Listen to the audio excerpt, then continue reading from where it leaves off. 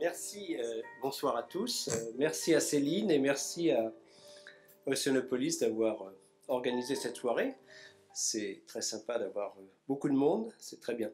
Alors, co- comme l'a dit, euh, bon, je, suis ici pour euh, plus. Bon, vous savez qu'on est dans une, année, un peu spéciale, en 2015, euh, cette conférence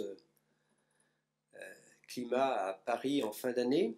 Elle est importante. Alors, elle n'est pas importante simplement parce qu'elle est à Paris, mais parce que, disons franchement, on espère que des décisions pourront y être prises pour effectivement réussir à stabiliser le réchauffement climatique. Ce réchauffement est inexorable. Ce qu'on peut faire de mieux, c'est de le limiter. Euh, donc, euh, je reparlerai de cette conférence de Paris. Mais euh, Céline, tu m'as tendu la perche. C'est- vrai que je vais vous parler plus du climat du futur, mais disons ma, vie, ma vie de chercheur, ça a été vraiment, disons, les climats passés, hein, l'exploitation des glaces du Groenland, de l'Antarctique. Euh, effectivement, ça nous aide à comprendre le, fonctionnement du système climatique. Euh, j'ai été, euh, donc j'ai une partie de moi qui est brestoise, en ce sens que j'étais assez longtemps, une dizaine d'années, président de l'Institut polaire de l'IPEV. Et je, commence donc par vous montrer une carotte de glace. Voilà, donc un peu, je vais bien sûr, donc ça c'est, donc on a eu des grands projets en Antarctique, au Groenland. Euh, voilà, une carotte de glace, ça fait, euh, ça c'est 3 mètres de longueur, c'est euh, une dizaine de centimètres de diamètre, et on y apprend beaucoup de choses sur le climat, l'environnement du passé. Donc, bon alors voilà, je suis ici au Groenland, on découpe, généralement ce sont des projets, très généralement des projets internationaux, européens, et donc évidemment une des premières tâches qu'on a sur le terrain, c'est de découper les morceaux de glace pour les envoyer dans les différents laboratoires. Hein, C'est ce qu'on fait quand on est sur le terrain. Euh, sur le terrain, les, gens qui sont les plus importants, ce sont les foreurs. C'est très difficile de faire des forages de 2-3 km, ça prend des années. Euh, généralement, on n'y arrive jamais du premier coup. Mais euh, disons, pour ce qui me concerne, moi, ce qui m'a, disons, ce que, qu'on a fait dans notre laboratoire, c'est surtout euh, euh, d'analyser la composition de cette glace isotopique, et c'est ça qui nous permet euh, de reconstituer les, climats passés, enfin, disons, les, variations de la température en Antarctique. Alors, mais il y a, beaucoup mieux, enfin, il y a, aussi dans, ces glaces euh, ces petites bulles d'air hein, euh, qu'on peut extraire. Donc, euh, en particulier, ce sont les, dans un- des travaux qui ont été réalisés au laboratoire de glaciologie de Grenoble, euh, par exemple par euh, Claude Lorius, son équipe, Dominique Reynaud, Jean-Marc Barnola. Donc un peu de publicité. Donc à, la fin de l'année, vous verrez un film qui sortira en salle, qui s'appelle Le ciel et la glace, qui est de Luc Jacquet, c'est celui qui a fait La marche des empereurs. Et euh, voilà, donc c'est autour de la vie de Claude Lorius et toute cette aventure euh, qu'on a vécue. Enfin moi j'ai eu la chance de la vivre euh, depuis, j'ai commencé en 68, donc toute cette aventure des, des grands forages en Antarctique et au Groenland. Et euh, donc je vous invite déjà à aller voir ce film, mais ça sortira en novembre dans, toutes les bonnes salles, y compris à Brest. Et euh, voilà, par exemple, le genre de résultats qu'on a, euh, a réussi à, mettre en évidence. C'était dans les années 80 que nous avons, disons, donc, euh, vous voyez là au milieu, donc ce sont les, les 400 000 dernières années. Ah, j'ai mis ça, c'est bon, ouais. Voilà, donc on part de, de- de moins 400 000 ans. Ah, Donc vous voyez, donc ce qu'on fait à Saclay, donc dans notre laboratoire, c'est mesurer la composition de la glace. Ça nous permet de reconstituer les variations de température. Ah, donc ces cycles, donc ça on appelle ça des périodes interglaciaires. Ah, nous sommes dans une période interglaciaire depuis 10 000 ans. Et vous voyez qu'il y a eu des périodes beaucoup plus froides, à peu près en 10 degrés plus froides en Antarctique. Ah, Ce sont donc les périodes glaciaires. Et il y a eu, disons, les périodes glaciaires sont très longues. Les périodes chaudes sont par contre très courtes. Donc il y a eu cette succession de périodes glaciaires et interglaciaires. Ah, Donc on a tous appris ça à l'école. Donc on, dont on, voilà, on trouve le témoignage dans, ces glaces polaires. Mais le plus intéressant, évidemment, euh, disons, c'est de montrer, ça permet, c'est la seule façon de voir ce lien disons entre gaz à effet de serre. Ici, donc on a le, gaz carbonique. Vous voyez, il y a pratiquement une augmentation de donc 200 parties par million. C'est pas grave limité. 280, il y a, disons, en période chaude, plutôt 300, il y a à peu près une augmentation de, 50%, 40 à 50% des, euh, du, gaz carbonique entre la période glaciaire et la période actuelle. C'est vrai aussi pour le méthane, il y avait moins de méthane, donc ce sont deux gaz à effet de serre, j'y reviendrai, moins de méthane pendant les périodes froides.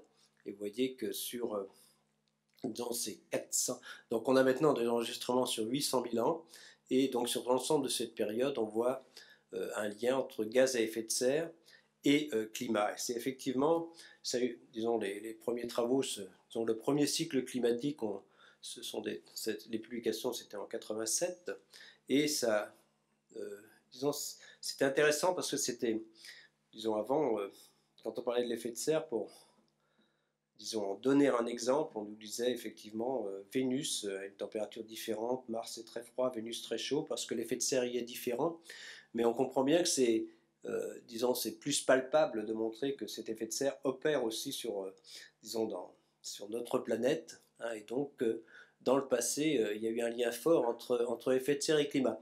En notant quand même que l'origine des cycles glaciaires interglaciaires, ce n'est pas l'effet de serre lui-même, c'est l'astronomie la position de la Terre sur son orbite.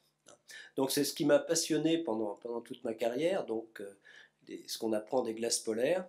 Et ce qu'on a appris aussi, donc, euh, voyez, c'est que, eh bien, on est rentré dans un monde nouveau hein, depuis 200 ans.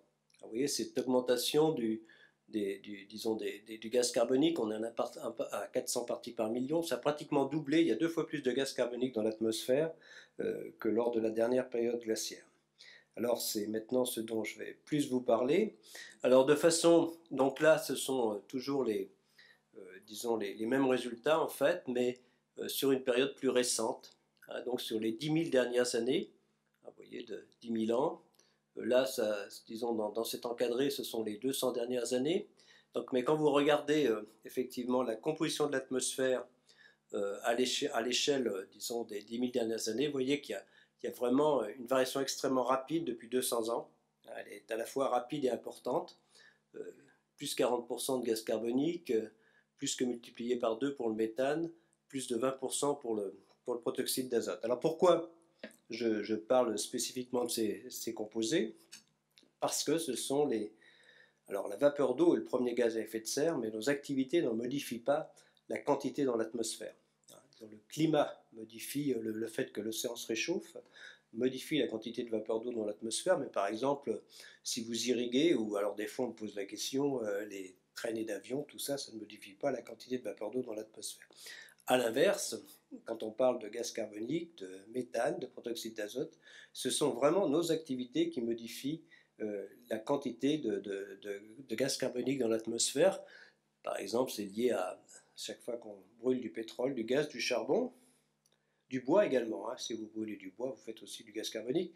L'avantage, c'est que si, euh, disons, quand la forêt se remet en place, ou eh bien, on récupère ce gaz carbonique, on réabsorbe. Donc euh, globalement, c'est neutre. Hein. Donc vous voyez, donc le méthane, c'est à chaque fois que, euh, disons que la, matière organique se décompose en dehors d'oxygène. Hein. Disons ça, donc c'est quoi la panse des ruminants, les décharges, les rizières, les, tas de fumier.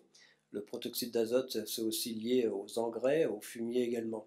Voilà, donc ce que je veux simplement dire, je ne vais pas être trop long sur cette partie, mais euh, il faut retenir que nos activités, par nos activités, nous modifions de façon rapide et importante la composition de l'atmosphère. Euh, c'est très bien documenté, c'est documenté par secteur, c'est documenté par région, c'est documenté par pays, et euh, c'est quelque chose dont nous sommes certains. Alors, pourquoi c'est important quand on parle de réchauffement climatique? Eh bien, que ces composés sont des gaz à effet de serre, ça veut dire que le rayonnement solaire, une fois qu'il est réfléchi à la surface de la planète, eh bien, une partie de ce rayonnement solaire réfléchi est absorbée euh, par, ces gaz à effet de serre. Alors heureusement, hein, s'il n'y avait pas de gaz à effet de serre, on ne serait simplement pas là. Hein, il y aurait, euh, disons, la température moyenne de la planète, c'est de l'ordre de moins 20 degrés. Donc, euh, je veux dire, l'effet de serre est quelque chose de très bénéfique, c'est son augmentation qui nous pose problème. En gros, quand vous augmentez l'effet de serre, eh bien, vous augmentez le, chauffage, vous augmentez la quantité de chaleur mise à disposition des composantes du système climatique. donc on augmente en fait la quantité de chaleur de l'ordre de 1%, et euh, il faut savoir qu'il n'y a que de ces 1% d'augmentation, alors on va dire c'est pas beaucoup, vous chauffez un peu plus, 1% hein, de plus, mais c'est justement là où est le problème. Hein. donc, et, de cette quantité de chaleur, l'essentiel va dans l'océan en fait, 93%, hein.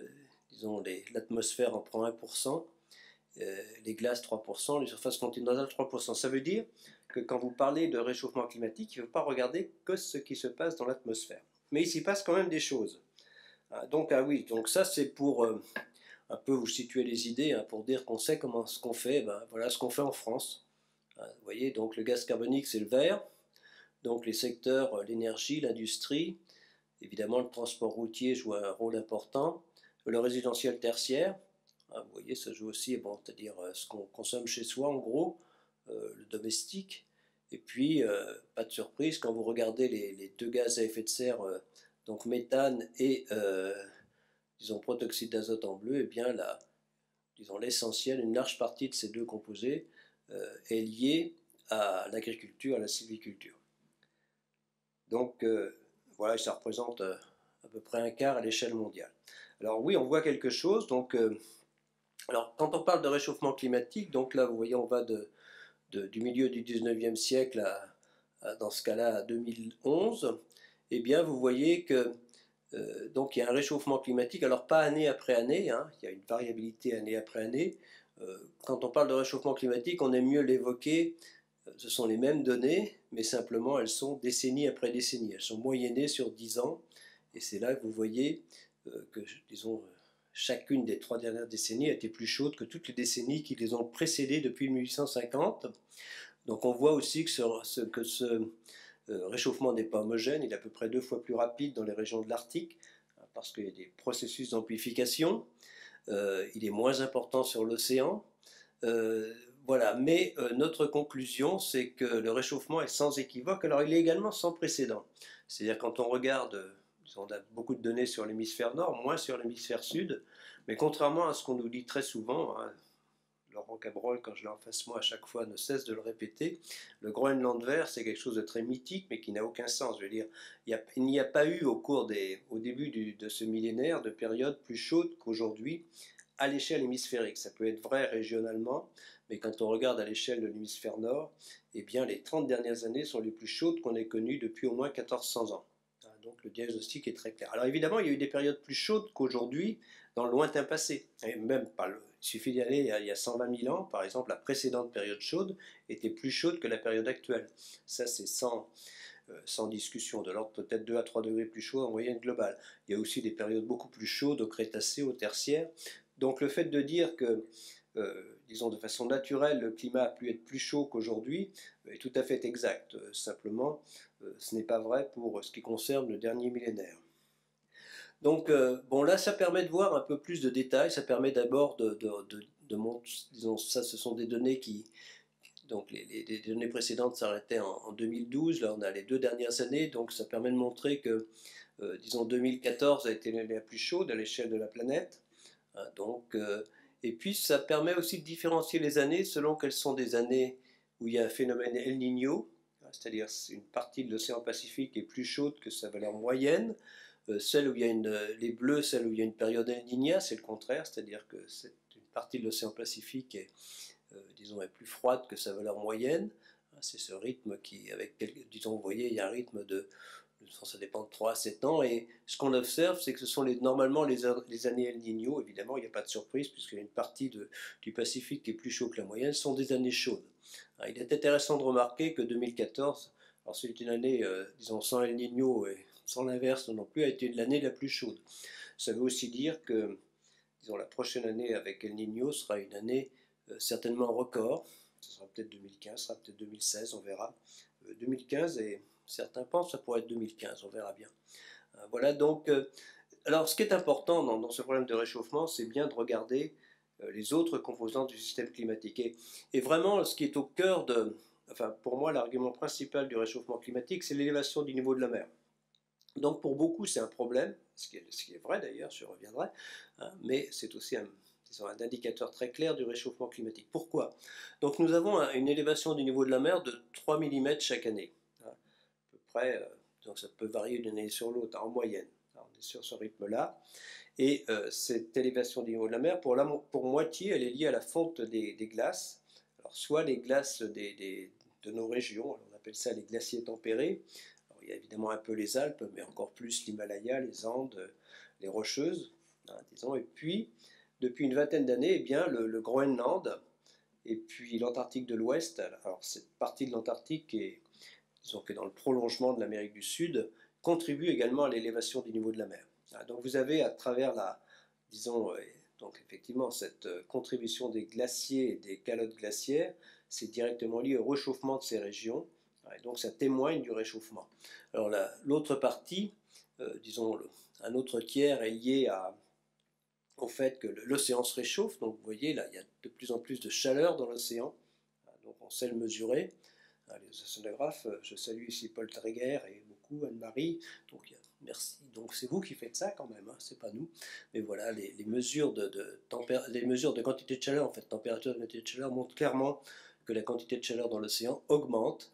Et euh, eh bien, ça se traduit aussi par euh, une contribution à l'élévation du niveau de la mer. Il, y il reste à peu près 15% qui sont liés au fait que on pompe de l'eau, donc on pompe, on n'arrête pas de pomper dans les nappes souterraines, et euh, cette eau à la fin elle se retrouve dans l'océan, et ça joue quand même pour une petite partie euh, de l'élévation du niveau de la mer. Hein, donc voilà, mais tout ça pour dire que vraiment l'élévation du niveau de la mer est un indicateur très clair, en un seul chiffre, du réchauffement climatique. Alors, d'autres indicateurs, donc si vous regardez la banquise, hein, là on parle de la banquise euh, arctique, hein, vous regardez, elle est, minimale à la fin de... Donc elle est très importante, une large partie de l'Arctique actuellement est recouverte de, glace, moins que d'autres années. En fait, même la, on est plutôt là, disons la, la couverture maximum de cette année est nettement inférieure à celle des années précédentes. Euh, mais la couverture minimum, elle, c'est à fin septembre. Enfin, on prend, de façon un peu, euh, non pas arbitraire, mais on prend la, mi-septembre. Bien, la mi-septembre, il y a 200 ans, il y a une, enfin, au début du, du, du 20e siècle, il y avait à peu près 10 millions de kilomètres carrés. Alors, le maximum, c'est 14 millions de kilomètres carrés, je crois. Il y a à peu près 10 millions de kilomètres carrés euh, à la fin de l'été. Maintenant, il y a plutôt 4 euh, ou 5 millions de kilomètres carrés à la fin de l'été. Il y a deux fois moins de banquises à la fin de l'été qu'il y a une centaine d'années. Donc c'est vrai aussi pour les surfaces enneigées. les surfaces enneigées euh, donc, sont maximales à la fin de l'hiver et elles sont moins importantes euh, qu'elles ne l'étaient également il y a un siècle. Donc tout ça pour vous dire qu'on a vraiment... Tout nous montre que, le, climat se réchauffe. Alors, si vous n'êtes pas convaincu, il suffit de regarder autour de vous. La nature, la nature au sens large perçoit le réchauffement climatique. C'est très clair. Bon, évidemment, on donne en France, euh, là l'exemple n'est pas là, on donne en France euh, cet exemple des dates des vendanges qui se sont avancées d'à peu près euh, trois bonnes semaines, entre trois semaines et un mois depuis une cinquantaine d'années, depuis les années, enfin, les années 50. Bon, là, il y a d'autres, c'est simplement pour, donc là, ça va être des inondations, disons que l'océan réagit, hein. il y a l'acidité, l'augmentation de l'acidité de l'océan, mais bon, les, disons, les poissons aiment bien trouver des températures qui leur plaisent, donc ils se déplacent. Des feux de forêt, hein, qui sont euh, plus importants. Euh, ce cristal de glace, c'est pour dire que les, disons, nos montagnes sont affectées, un glacier, mais aussi euh, durée d'enneigement. Hein, voilà, des, des inondations catastrophiques, en particulier il y en a eu en Bretagne, mais surtout, euh, c'était encore pire euh, la même année, donc c'était l'hiver dernier, enfin bon, l'hiver de l'an dernier, pas l'hiver dernier, hein, dans, le, disons, quand on regarde euh, le, disons, le, sud de, l'Angleterre, voilà, et puis donc des écosystèmes naturels, tout est affecté, tout réagit, hein, aussi bien sûr la faune, la flore, tout réagit comme on s'y attend en cas de réchauffement climatique. le diagnostic est là très clair, il y a tout un ensemble de disons, de, d'indices qui montrent, euh, disons, la, la nature ressent euh, ce réchauffement climatique. Il n'y a pas simplement, disons, les thermomètres, les élévations du niveau de la mer, mais c'est au sens plus large. Voilà, alors, euh, donc il y a effectivement, là c'est aussi pour, pour l'année pour la, pour récente, on voit aussi bon, des extrêmes. Alors nous on est très prudents sur l'attribution des extrêmes ou non aux, activités humaines, mais bon, quand on regarde les extrêmes, ils ont plutôt tendance à, disons, à, s'amplifier, à augmenter, soit en intensité, soit en nombre, nous restons très prudents. Alors c'est vrai que si vous êtes euh, habitant du Québec ou euh, dans la Nouvelle-Angleterre ou New York, vous ne pouvez pas croire au réchauffement climatique. Ils ont un hiver très très froid. pourtant ça c'est quand même intéressant de montrer que 2014, eh bien, si vous êtes là, vous avez l'impression d'une année très froide. Et puis en moyenne globale, c'est indiscutablement l'année la plus chaude qu'on ait connue depuis 150 ans. Donc évidemment, des périodes de sécheresse, des, vagues de froid, vous voyez très peu, mais surtout des, sécheresses, bon, celle de Californie est très marquée. Euh, voilà, donc des phénomènes qui sont, euh, qui sont aussi à l'origine de ce qu'on appelle des coûts d'assurance d'ailleurs, et puis des désastres climatiques. Euh, voilà, donc maintenant, si... Alors, j'ai essayé de vous dire deux... Enfin, donc, dans, notre domaine, il y, a, beaucoup de questions qu'on se pose, il y a des incertitudes, euh, mais aussi des certitudes. Ce que j'essaie de vous dire, c'est que nous avons deux certitudes. Le premier, c'est que ce sont nos activités qui modifient la composition de l'atmosphère. Le second, c'est que euh, le réchauffement climatique est sans équivoque. Donc pour notre communauté, ce sont vraiment deux certitudes.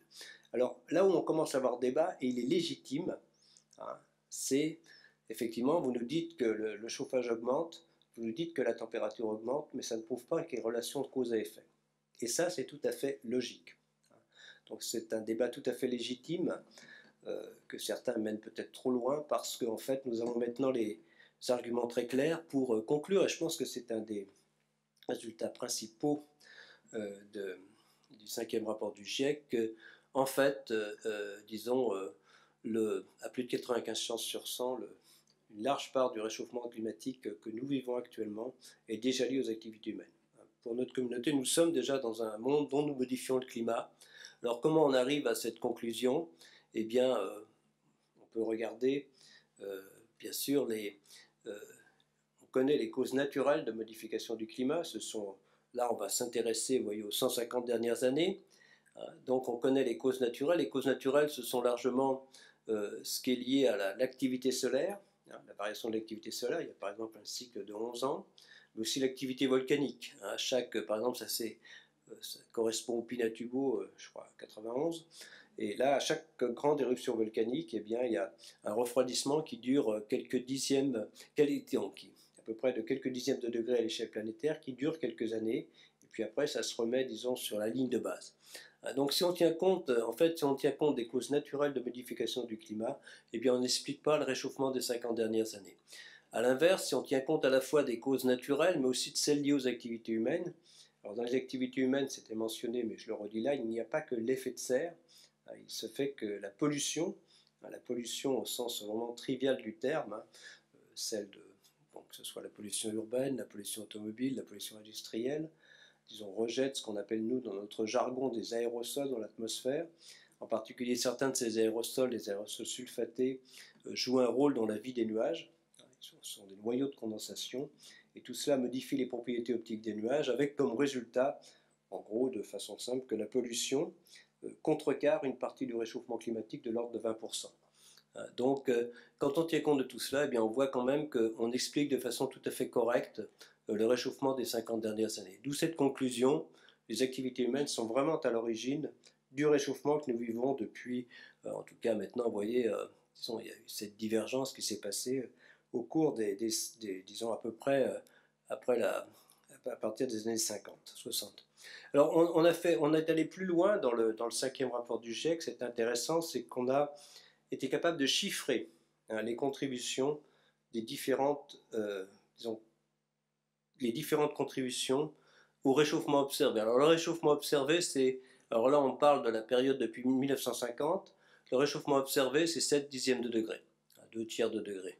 Voilà, c'est ça en noir.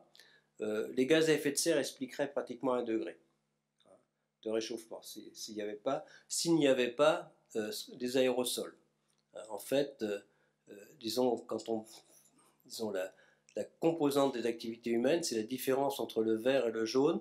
Ah, vous voyez, c'est cette partie-là, hein, ce qu'on appelle anthropique, eh bien, on explique, hein, c'est donc euh, pour ça qu'on arrive à cette conclusion, on explique que eh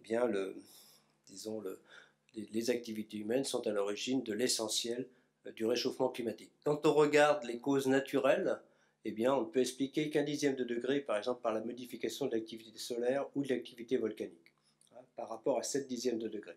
C'est un peu logique puisque quand on regarde les quantités d'énergie qui sont en cause, c'est 3 watts par mètre carré supplémentaires que nous avons apportés à travers l'augmentation de l'effet de serre et euh, la variabilité de, Par contre, la variabilité du Soleil, hein, la variabilité solaire, disons, son amplitude n'est que l'ordre de 1 dixième de watt par mètre carré.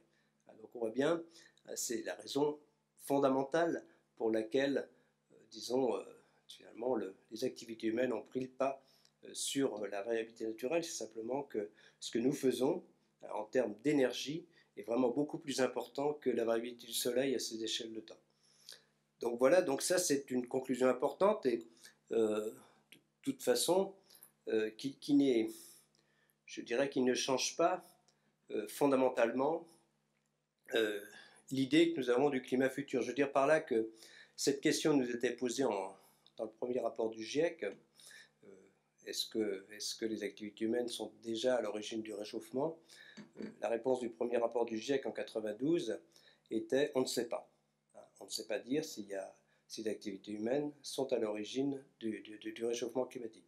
Et quand on regarde le même rapport de 92, eh bien, on prévoyait de toute façon, c'est assez indépendant, que eh bien, à horizon 2050, le réchauffement climatique, si l'effet de serre allait continuer à augmenter, pouvait être de quelques degrés, entre 2 et 5 degrés, au, cours, au milieu du XXe siècle, au milieu du XXIe siècle. Donc je veux dire par là que euh, ces projections pour le futur n'ont pas tellement varié au cours de, euh, disons, au cours des 25 dernières années. Alors où en sommes-nous?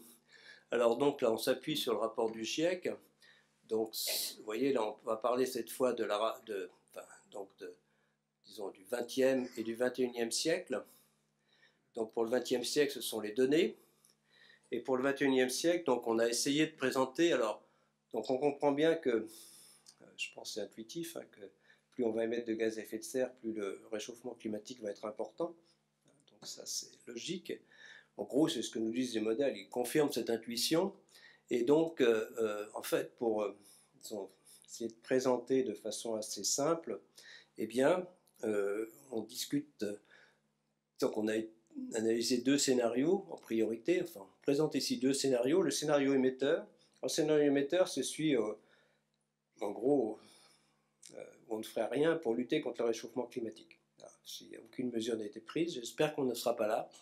Et puis le scénario sobre qui euh, disons, répond à l'objectif de la, disons, de, la Convention climat, à de la Convention climat qui est de maintenir le réchauffement climatique à, 2 degrés, enfin de maintenir le réchauffement à 2 degrés par rapport au climat pré-industriel. Alors si on regarde euh, le scénario émetteur, vous voyez, on arrive à des températures de, entre 4 et 5 degrés à la fin du siècle. Alors c'est très dur de dire, mais c'est très dur de faire comprendre que 4 euh, à 5 degrés, eh bien c'est en moyenne globale, c'est un climat complètement différent de celui dans lequel nous vivons. Ah, mais l'exemple qu'on donne, qui est ben, au dernier maximum glaciaire, il y a 20 000 ans, la température n'était que de 4 à 5 degrés plus froide qu'aujourd'hui.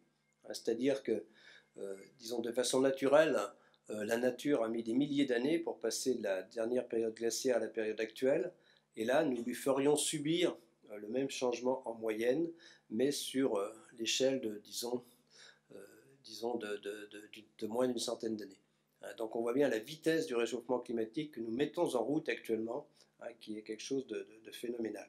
Alors quand on regarde, on va regarder, alors il y a aussi une autre caractéristique, c'est que ce scénario, eh bien, il n'est pas du tout stabilisé à la fin du siècle si on continue à, faire n'importe quoi, eh bien on va vers 6-8 degrés à la fin du siècle prochain. Donc euh, de, réchauffement. Alors quand on regarde ces conséquences, donc c'est pas très clair, mais c'est pas, pas très grave. Vous avez cinq catégories, donc on a dans le, rapport du GIEC classe de façon un peu, disons, les disons, les, conséquences du réchauffement climatique en, cinq catégories. Donc euh, la première catégorie, on appelle ça des systèmes uniques menacés. En gros, par exemple, le bon exemple, ce sont les récifs coralliens qui à la fois euh, souffrent de l'acidification de l'océan et euh, du réchauffement des eaux de surface de l'océan. Il faut voir que dans le cas, dans le cas, de, dans le cas du scénario émetteur, à la fin du siècle, disons, l'acidité de l'océan aura été multipliée par deux. C'est très clair. Donc elle a déjà augmenté de 30% mais l'acidité de l'océan serait multipliée par deux. Donc c'est aussi la banquise, par exemple. Ensuite, la deuxième catégorie, ce sont les événements extrêmes, hein, les événements climatiques extrêmes. Bon, ça va, sécheresse, euh, inondation, canicule, euh, cyclone, qui pourraient devenir, et en fait, qui pourraient devenir plus intenses, hein, pas forcément plus fréquents, et certains événements extrêmes. Donc une des caractéristiques d'un climat plus chaud, c'est qu'effectivement, les événements extrêmes deviennent soit plus intenses, soit plus fréquents, soit les deux, par exemple pour les canicules, hein, quand on regarde, j'y reviendrai tout à l'heure.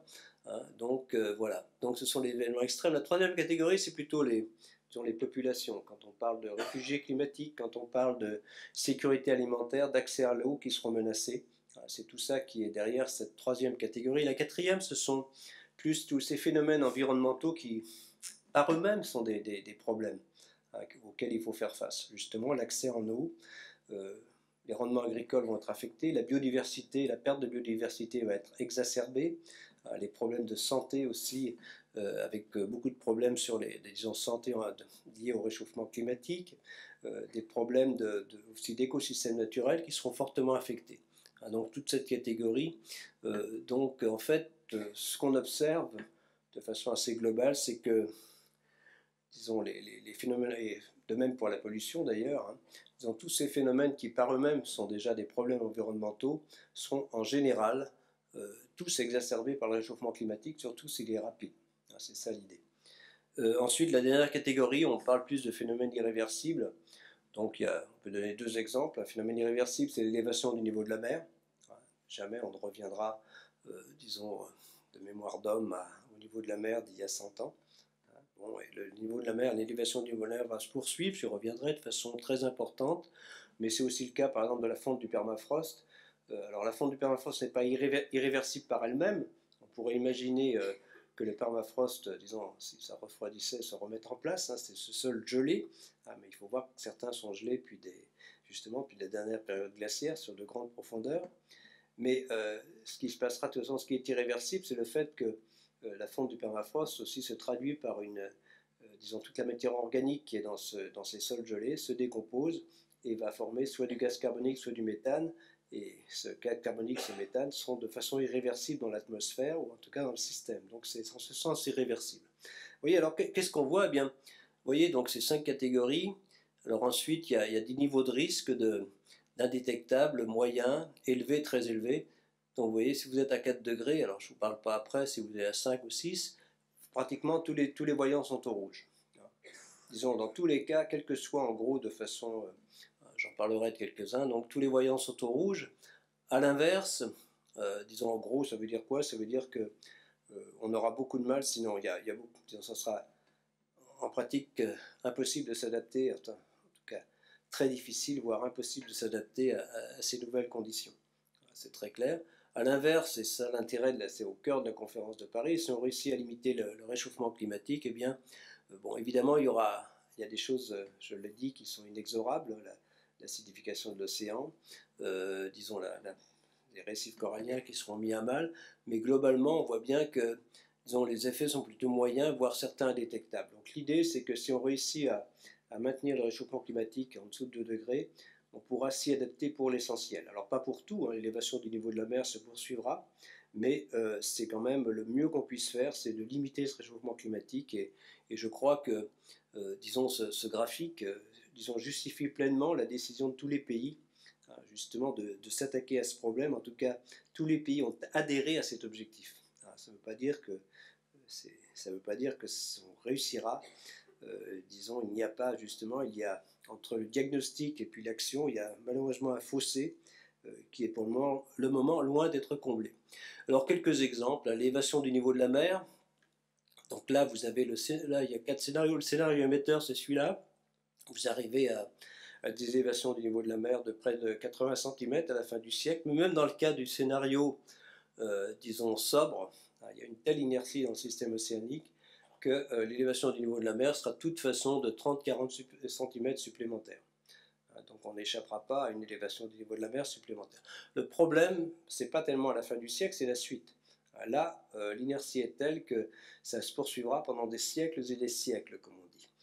Et donc jusqu'à et si le réchauffement climatique était maintenu en dessus d'un certain seuil, qui est en fait entre 1 et 4 degrés, en gros, ça serait probablement le cas dans, dans, le scénario émetteur, eh bien, à long terme, on ne parle pas d'une échelle séculaire, mais d'une échelle millénaire, euh, il est très probable que le, Groenland, euh, actuellement au rythme où ils font, ça mettrait 7000 ans, hein, donc ils font à peu près voilà, hein, donc au rythme où il contribue à l'élévation du niveau de la mer, mais dans ce cas-là, ce serait plutôt à une échelle millénaire que le Groenland disparaîtrait. ça, ce sont 7 mètres d'élévation du niveau de la mer. Donc voilà, et ce sont des choses que nous mettons en route par nos actions d'aujourd'hui. C'est bien ça qu'il faut, comprendre. Donc, j'illustre souvent, le, je ne suis pas spécialisé de la biodiversité, mais il me semble que, disons, ce, graphique, ce, diagramme du, groupe 2, du, des, impacts est, très parlant.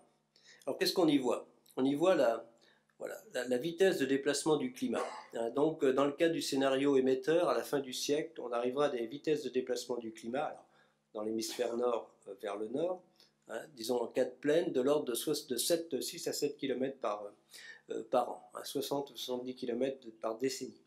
Ce serait des déplacements très importants. Qu'est-ce qu'on observe? Ce sont les, capacités, les vitesses de déplacement des espèces. Vous voyez les arbres, hein, bon, c'est pas très grave, des, plantes, des arbres. Euh, là, vous voyez des, rongeurs, des primates. Hein. Disons, pour beaucoup de ces espèces, eh bien, leur capacité de déplacement est tout simplement euh, plus faible que la capacité de déplacement du climat. C'est-à-dire que si on ne les aide pas, ils auront beaucoup de mal à s'adapter évidemment, il y a des espèces qui peuvent se déplacer plus rapidement.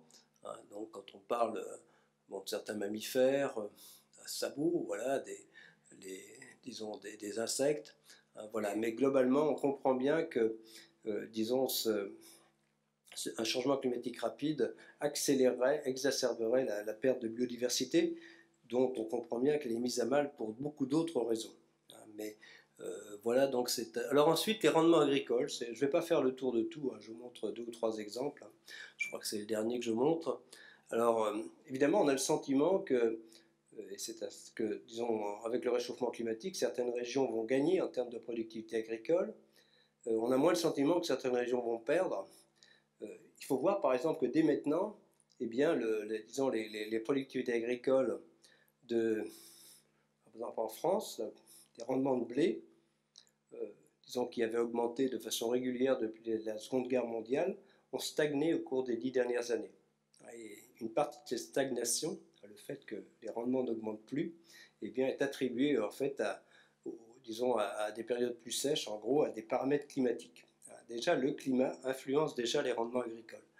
Et effectivement, donc là, vous avez en bleu les, disons, on parle ici des quatre cultures vivrières principales, blé, riz, maïs, soja. Hein, c'est en gros sur lequel, celle sur laquelle nous nous, euh, nous, nous, appuyons pour euh, l'alimentation en général, et pour, y compris l'alimentation du bétail, bien sûr. Hein, donc vous voyez, il y a effectivement les régions bleues, ce sont les régions qui gagnent. Hein, c'est agrégé, donc jusqu'à... Il y, a, certaines régions, la productivité peut pratiquement aller jusqu'à doubler. Et en jaune, ce sont les régions qui perdent. Vous voyez, effectivement, sur disons jusqu'en 2030, les régions qui gagnent et les régions qui perdent sont à peu près équivalentes. Puis quand vous, quand vous voyez que le réchauffement climatique se met en place, eh bien, euh, il est clair qu'à la fin du siècle, les régions qui perdent, en particulier pour des, raisons de sécheresse, pour des raisons aussi de, ben, ça peut être l'élévation du niveau de la mer qui affecte, euh, disons, ça salinise les sols dans certaines régions. Donc les régions qui perdent prennent nettement le pas sur les régions qui gagnent. Donc en cas de réchauffement climatique important, il y a un problème avec la sécurité alimentaire mondiale qui sera, bien sûr, la, démographie est là, qui sera de toute façon, je dirais, difficile. Enfin, ça pose déjà un problème euh, en dehors du, réchauffement climatique, mais là aussi, c'est pour bien montrer que euh, le réchauffement climatique n'aidera pas, euh, disons, à résoudre le problème de sécurité, de sécurité ou à apporter des solutions aux problèmes de sécurité alimentaire. Donc maintenant, euh, alors, bon, quelque chose que j'aime bien montrer, hein, donc j'ai été chargé de, euh, disons, de coordonner des, rapports sur euh, le climat de la France. en gros, c'est pour montrer que c'est pas chez les autres que ça se passe, hein. ça se passera aussi chez nous.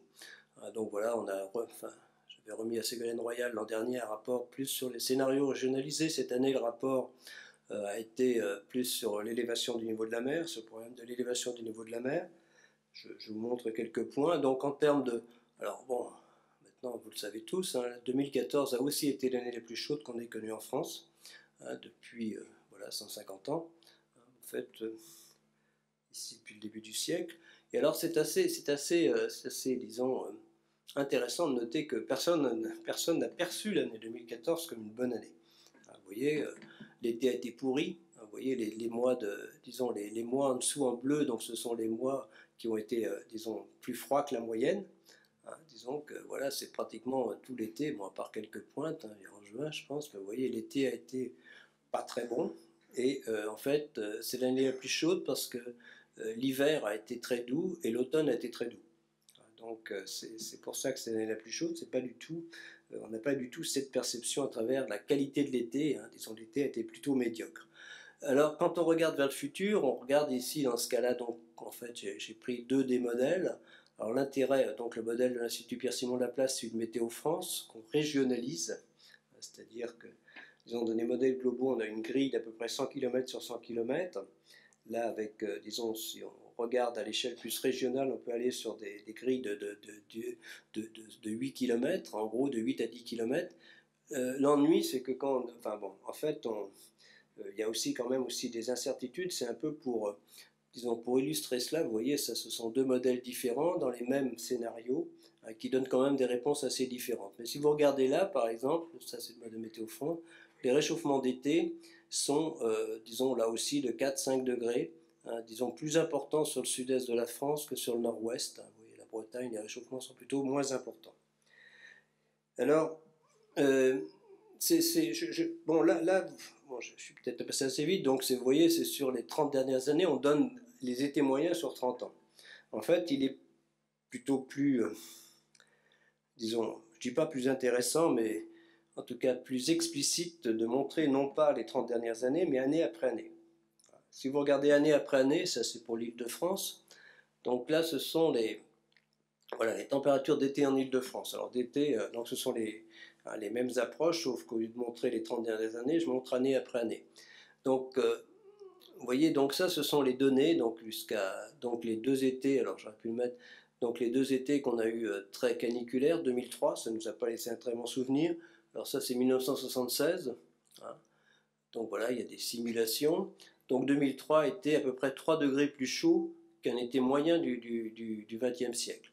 Et quand vous, alors évidemment, il y aura toujours des canicules à la fin de, ce siècle. Et quand vous regardez le scénario émetteur, hein, voilà le scénario émetteur ici, eh bien, les étés caniculaires de la fin du siècle euh, risquent d'être euh, jusqu'à 8 degrés plus chauds qu'un été moyen du XXe siècle. Hein, donc vous voyez que euh, et pratiquement tous les étés seront aussi chauds, au moins aussi chauds que 2003. Donc ça donne une idée du monde vers lequel on irait, et ça laisse pas forcément de bons souvenirs. Et ça, ce sont des vrais problèmes alors à l'inverse, on voit bien l'intérêt de politique climatique, hein, pratiquement dans ce scénario euh, qui n'est pas le scénario le plus sobre, mais qui est un scénario intermédiaire. Eh bien, on voit que pratiquement, eh bien, il n'y a aucun été qui, dépasse 2003. Hein, vous voyez bien à peu près. Hein, donc, euh, donc on voit bien, je pense que ça illustre mieux, je crois, cette, euh, disons, de, comparer les étés à la fin du, 20e, du 21e siècle, ça illustre mieux l'absolue nécessité de lutter contre le réchauffement climatique. Euh, en tout cas, c'est un point important. Alors si on regarde maintenant les précipitations, donc ce qu'on voit dans les, dans les modèles, c'est vraiment euh, une diminution des précipitations, en particulier, euh, c'est une constante de deux modèles, sur le, sud-est de la France. Alors je le dis parce qu'il y a aussi une vingtaine de modèles qui tous montrent, là j'en montre que deux, cette caractéristique. Une caractéristique très claire, c'est que sur tout le pourtour méditerranéen, disons l'été, il y aura moins de précipitations, et on voit bien les problèmes que cela peut poser. Ah, donc des sécheresses à répétition. Ah, donc ça, c'est, euh, disons, c'est probablement en France quelque chose qui sera parmi les, les conséquences les plus visibles et les plus dommageables ah, dans des régions où déjà l'accès en eau n'est pas si facile. Alors dans nos régions, euh, c'est plutôt euh, l'hiver qu'on va regarder. donc l'hiver, donc là vous voyez, ce sont des augmentations de précipitations hein, qui peuvent être en fait pratiquement bon, ce qu'on a connu l'hiver 2014. Hein, l'hiver 2014, je, regarde toujours les statistiques de Rennes, je suis navré. Il y en a peut-être qui savent celle de Brest, mais c'est plus que doublé à Brest, hein, je crois, euh, dans le Finistère. Mais à Rennes, il y avait exactement deux fois plus de précipitations. On parle de l'hiver 2014. Hein. Donc décembre, décembre 2013, janvier et février 2014, euh, deux fois plus de précipitations qu'une, euh, année normale, qu'une année moyenne. Et ça a été vrai sur toute la, façade atlantique. Et c'est ce qu'on risque d'avoir à répétition. On comprend bien le mécanisme, un hiver très doux, des perturbations qui nous viennent de l'océan à répétition, hein, vraiment, ça a été le cas. Et donc, ces, disons, ces masses d'air disons, contiennent beaucoup, plus de, vapeur d'eau. Et donc, derrière ça, il y a plus de précipitations. Donc, ça s'est traduit par des inondations. Et donc, je veux dire que ce qu'on a connu en 2014 risque d'être une des choses qu'on connaîtra dans un, pas forcément tous les hivers, mais une des choses qu'on connaîtra sur la façade atlantique, euh, disons dans un climat plus chaud, c'est-à-dire beaucoup plus de précipitations et les risques qui sont associés à, disons, cette augmentation de précipitations. Alors maintenant. Alors l'intérêt dans ce domaine quand même, c'est c'est que finalement tout le monde a compris très rapidement ce qu'il fallait faire. Euh, donc ce qu'il faut faire, euh, disons 88, le GIEC se met en place, donc le premier rapport est en 90. Et euh, dès en 92, au sommet de la Terre de Rio, euh, tous, les, tous les pays signent euh, la, Convention climat. donc la Convention climat, elle est mise en place à Rio, elle se réunit chaque année. C'est ce qu'on appelle la conférence des parties, COP. C'est pour ça qu'on parle de COP. Et la Convention climat peut se résumer, alors il y a beaucoup d'articles évidemment, mais peut se résumer à son article 2, hein, qui est un article de bon sens, euh, bon, en gros, il faut prendre des mesures pour stabiliser les concentrations de gaz à effet de serre dans l'atmosphère. Donc à un niveau qui empêche toute perturbation dangereuse du système climatique. On comprend bien que bon, euh, si on continue à chauffer, euh, c'est un peu idiot d'attendre, enfin, d'espérer que rien ne se passera. C'est très clair, et ça tout le monde a compris. Presque tout le monde. Alors le problème, c'est que pour stabiliser les quantités de gaz carbonique dans l'atmosphère, il faut diminuer les émissions c'est pas simplement stabiliser les émissions, c'est que, euh, disons en gros, euh, ce qui sort de l'atmosphère, ce qu'on appelle les puits, soit euh, plus important, un peu plus important en tout cas, du même ordre de grandeur que les sources. on en est loin actuellement. Actuellement, il y a plus de la moitié, disons, il y a à peu près la moitié du gaz carbonique qu'on émet qui reste dans l'atmosphère. Hein, donc il y a vraiment cette idée et dès au départ, donc, euh, finalement, la machine se met assez rapidement en place, puisque la première conférence des partis est à Berlin en 95, et il y en a trois qui, qui sont un peu emblématiques, donc je suis sûr que les noms vous évoquent quelque chose. Euh, celle de Kyoto, donc c'est la troisième, la conférence des partis numéro 3, où a été mis en place le protocole de Kyoto, qui euh, était intéressant dans, dans l'esprit, qui n'a pas été inutile, qui avait un objectif de diminution des émissions de gaz à effet de serre pour les pays euh, développés, on appelle ça l'annexe 1 dans notre jargon, euh, c'est de, 5%. Alors les pays euh, en voie de développement étaient eux tous signataires puisqu'ils n'avaient pas d'engagement. Le protocole de Kyoto se met en place, donc c'était sur la période 2008-2012. Malheureusement, à l'époque, le principal pays, le premier pays émetteur, qui à l'époque était les États-Unis, n'ont jamais ratifié, jamais mis en œuvre. Ça a été aussi le cas pour le Canada. Mais globalement, par exemple, l'Europe a tenu ses engagements pour le protocole de Kyoto. La France, qui s'était engagée à maintenir ses émissions euh, par rapport à l'année de référence 1990, a mieux que tenu ses engagements.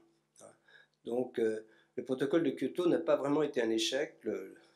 L'échec a été que le premier pays émetteur ne, ne s'en soit pas vraiment préoccupé. En gros, euh, disons que l'ère George W. Bush a été extrêmement euh, néfaste pour euh, ceux qui pensent en termes de lutte contre le réchauffement climatique. C'est très clair. Si Al Gore avait été élu, euh, et il, aurait pu être élu, même je pense qu'il aurait dû être élu, peut-être les choses en seraient-elles différentes? Je veux dire par là que ça a tenu un peu de choses. Donc ensuite, alors haute conférence emblématique, évidemment, en 2009, bon, il n'y a plus rien après 2012, donc euh, il est temps de se pencher à ce qu'on devrait mettre en place pour l'après 2012. Alors on pensait déjà à quelque chose qui pourrait s'appeler la deuxième phase du protocole de Kyoto, qui aurait dû être, euh, qui normalement aurait dû être euh, ambitieuse. Alors normalement, en fait, l'ambition, il y a bien une seconde phase du protocole de Kyoto, mais elle n'a aucune ambition. Et c'est ça le problème, c'est-à-dire que les seuls pays qui sont, en pratique actuellement, il n'y a que l'Europe qui représente 10% euh, des émissions, euh, qui s'est impliquée réellement dans la deuxième phase du protocole de Kyoto, avec son engagement 3 x 20 à horizon 2020, quelques autres pays, mais parmi tous les grands pays, États-Unis, Canada, Australie, Japon, Russie, ne, sont pas, ne sont pas partie prenante dans la seconde phase du protocole de Kyoto, sauf à partir d'accords volontaires. Euh, donc on est loin du compte.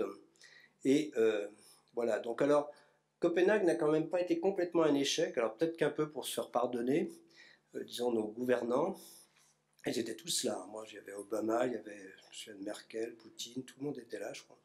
Donc, ils ont, ils ont quand même fait, ils ont fait quelque chose, c'est de passer. Alors, vous voyez, dans, la, dans, sa, dans sa version originale, le, protocole n'a pas d'objectif chiffré.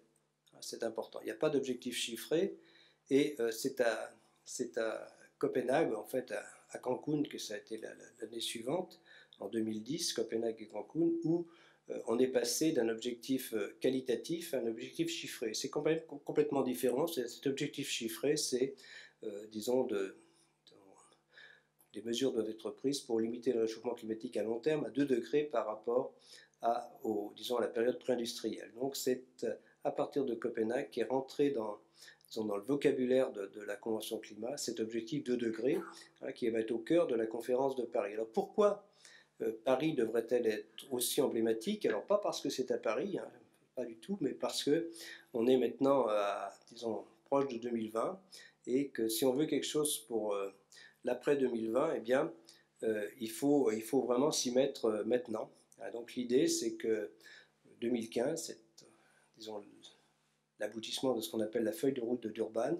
Hein, disons, depuis trois ans, on sait que 2015 serait normalement la date butoir pour la mise, donc euh, il y aura peut-être des discussions ultérieures, mais disons pour la mise en route d'un accord. Alors cet accord devrait être effectivement ambitieux si on veut rester en dessous de 2 degrés, et il devrait impliquer tous les pays. C'est ce qui est fondamentalement différent par rapport aux accords précédents, hein, c'est qu'on ne parle plus simplement des pays développés, mais l'idée serait que tous les pays soient associés. La Chine, par exemple, a accepté l'idée de s'associer, afin de discuter au moins d'un d'accord dans lequel il serait partie prenante. Alors où en sommes-nous? Euh, Donc évidemment, la réussite de cette conférence est en premier lieu du ressort des gouvernements, mais c'est très clair que, disons, tous, euh, disons, à la, fois, euh, ce n'est quand même pas uniquement le cas, à la fois, disons, le monde scientifique, on se mobilise, à la fois les collectivités locales, les ONG, les médias, mais aussi les entreprises. Hein. donc, euh, disons, ont un rôle à jouer. Et ce n'est pas, si facile pour, pour, les, pour les entreprises. Quand on regarde, par exemple, euh, si on regarde le problème vu des, dans du secteur fossile, euh, on peut, disons qu'il y a une condition nécessaire pour que le réchauffement climatique n'excède pas 2 degrés, elle est en termes d'utilisation de, des combustibles fossiles. En gros, on n'a plus le droit, si on veut limiter à 2 degrés, qu'à 250 milliards de tonnes, disons, de, carbone Hein, provenant de combustibles fossiles. Ça, ça représente 10 euh, ans au rythme 25 euh, ans au rythme actuel. On en est à 10 milliards de tonnes chaque année. Hein, donc 25 ans au rythme actuel, mais surtout, euh, disons, un autre point de repère ou de comparaison, c'est de regarder de ces 250 milliards de tonnes par rapport à ce qui est disponible. Hein, donc on va parler de réserves. Donc si vous regardez les réserves, les réserves c'est ce qui est facilement accessible euh, disons à des coûts euh, et avec les technologies actuelles. Donc les ressources, ce qu'on peut rêver aller chercher, hein, soit à des coûts pour, pour, le moment plus importants, soit dans des conditions. Hein, oui, même si on regarde des réserves, il faut laisser euh, pratiquement 80% de ce qu'on a facilement accessible sous les pieds là où il est. Donc vous voyez bien que c'est un mode complet, c'est un changement complet de mode de développement si on veut effectivement rester en, disant en dessous de, 2 degrés. Hein. c'est passé d'un développement largement basé sur l'utilisation des combustibles fossiles à, ce qu'on appelle évidemment, euh, le mot est un peu galvaudé, mais une société sobre en carbone. on comprend bien à partir de cela. Alors évidemment, euh, c'est pas comme ça qu'on, c'est évidemment pas euh, ce qu'on va faire. Hein. On va pas faire 25 ans au rythme actuel et puis zéro après. Donc les objectifs, disons, quand on regarde par contre l'ensemble des trajectoires qui permettent de, qui sont euh, compatibles avec l'objectif de degrés, eh bien, toutes ces trajectoires se traduisent par, euh, disons, par, euh, par une diminution, alors en 2050, pratiquement, disons, entre moins 40 et moins 70%, c'est-à-dire une division par deux, voire par trois, des émissions de gaz à effet de serre à l'échelle planétaire. Donc c'est un monde complètement différent. Ensuite, pratiquement, on continue ensuite jusqu'à neutralité carbone à la fin du siècle. Et il faut aussi Hein, il ne faut pas oublier qu'il faut faire quelque chose tout de suite. Si on ne fait rien d'ici 2020, il est clair que l'objectif 2 degrés nous échappera, on ira plutôt vers 3 degrés à échéance de la fin du siècle. donc il y a vraiment ces trois disons, échelles de temps importantes, l'urgence, faire quelque chose tout de suite, infléchir les émissions de gaz à effet de serre, et ensuite, disons, d'un effort d'ici 2050, divisé par 2, voire par 3, et arriver ensuite, et c'est, on est loin du compte, il faut ensuite pratiquement ne plus émettre hein, si on veut rester en, dessous de 2 degrés. Alors on voit bien que, disons, c'est un monde différent. Euh, le message du GIEC, il est quand même que c'est techniquement possible. Disons, techniquement possible. Alors, alors évidemment, c'est une condition nécessaire, ça n'est pas suffisante. Il faut agir aussi sur les autres gaz à effet de serre, être un peu attentif au méthane, au protoxyde d'azote. Hein, mais euh, en termes d'énergie, en tout cas, c'est techniquement possible. Hein, disons, il y a tout le potentiel, en particulier en énergie renouvelable, et c'est économiquement viable. Hein, dans cette transition, si on décidait de la faire, eh bien, elle, d'après le GIEC, toujours, elle, affecterait disons, le développement d'à peu près un an tous les 30 ans en termes de PIB. C'est tout à fait acceptable, d'autant plus que, disons, dans ce calcul, on ne tient pas compte des, co-bénéfices en termes de, d'amélioration de la qualité de vie, de diminution des désastres climatiques. Ah, donc, c'est pas, ce que je veux dire, c'est que c'est plus une question de, choix de, société, de développement, que de réelles possibilités techniques. Ah, disons, le potentiel est là, euh, les solutions, euh, il faut vouloir les mettre en œuvre, mais elles existent. Euh, ça ne veut pas dire du tout qu'elles qu'elles sont mises en œuvre, mais c'est assez intéressant de voir comment elles se traduisent. Ah, là aussi, ce sont les, c'est une analyse des scénarios qui permettent de, rester en dessous de 2 degrés. Euh, donc dans ces scénarios, eh bien qu'est-ce qu'on voit? C'est que euh, donc c'est plus une analyse d'économiste en termes de, modification des flux d'investissement. Donc euh, les leviers pour donc ça permet de voir quels sont les leviers principaux hein, pour réussir cette transition. Et le premier levier, c'est l'efficacité énergétique. De façon très claire, c'est l'efficacité énergétique. Euh, voilà, alors là, donc, en fait, il y a deux, il y a trois, disons, trois indications. Ça, ce sont à gauche, ce sont pour les pays développés. Les pays en voie de développement, ça, c'est le total. Donc, si on regarde le total, vous voyez, l'efficacité énergétique est vraiment, euh, disons, le, premier levier pour euh, diminuer notre consommation d'énergie. Ensuite, évidemment, qu'il n'y a pas de surprise par rapport à faut désinvestir massivement de l'extraction des combustibles fossiles. Vous voyez, désinvestir également de l'utilisation des combustibles fossiles euh, sauf euh, si on réussissait à mettre en place ce qu'on appelle le piégeage et le stockage du gaz carbonique, euh, Carbon Capture and Storage. donc effectivement, mais c'est loin d'être opérationnel, c'est pas si simple. donc vous voyez, ensuite, bon, tous ces scénarios gardent une petite partie de nucléaire, sans une augmentation d'investissement très importante, et bien sûr un développement important des renouvelables, qui sera encore plus important après 2050 et qui est déjà en route dans certains pays. Et puis, euh, ça, disons, c'est aussi pour, euh, disons, en gros, euh, illustrer le fait que, disons, l'énergie deviendra, disons, il y aura un basculement, en tout cas, une place plus importante donnée à l'électrique par rapport à, la chaleur. Donc, par exemple, en, termes par rapport au combustible. disons, par exemple, le meilleur exemple, c'est bien sûr la mobilité si on veut effectivement de, euh, disons, gagner, euh, diminuer notre utilisation d'essence, de, fuel ou de gasoil, eh bien, il faut effectivement, la, voie, c'est pour le moment à travers l'électrification de, cette mobilité.